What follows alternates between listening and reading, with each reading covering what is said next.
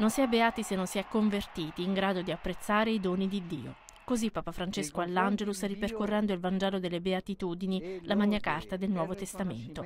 Beati, ha spiegato il pontefice, vuol dire felici, ma per esserlo bisogna accogliere con fede il dono di Dio.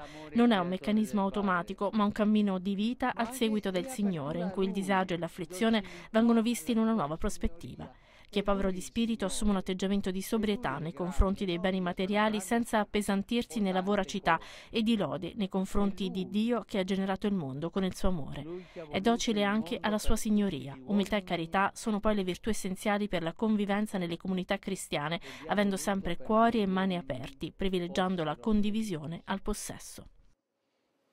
Il povero in spirito è il cristiano che non fa affidamento su se stesso, sulle ricchezze materiali, non si ostina sulle proprie opinioni, ma ascolta con rispetto, si rimette volentieri alle decisioni altrui.